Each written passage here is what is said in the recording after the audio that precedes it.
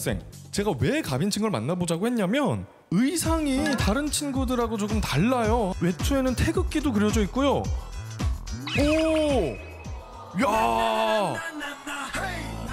머리에도 뭐가 있는데요? 왜 이런 의상을 입고 있는 거죠? 제가 우슈 국가대표 선수이기 때문입니다. 우슈 국가대표 엄청난 분이 지금 여기 서 계신 거네요 우슈 우슈라는 걸 좀 소개를 해주시겠어요?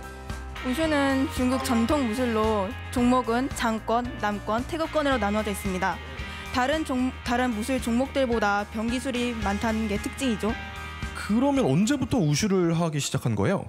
저는 7살 때부터 시작했어요. 어쩌다가요? 어렸을 때 좀 몸이 많이 약했는데 엄마가 근처에 우슈 도장이 있다는 걸 알고 그쪽을 보냈어요. 그런데 보통 왜 어렸을 때 태권도 학원을 다녀도 태권도 선수가 되진 않잖아요 다 그런데 어떻게 쭉 우슈 선수를 하게 된 거예요? 우슈를 하다 보니까 태권도나 유도에서는 볼 수 없는 좀 무기가 여러 가지고 화려하고 좀 도약 같은 것도 되게 멋있어가지고 우슈 우슈로 선수하게 된 것 같아요. 아까 보니까 비슷한 옷을 입고 있는 친구가 한 명 더 있던데?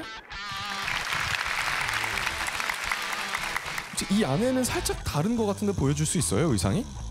여기도 용 한 마리 오야 용이 그냥 온몸을 그냥 휘감고 있네 그러면 혹시 앞으로 우슈 선수로서의 목표가 있다면 뭐가 있을까요?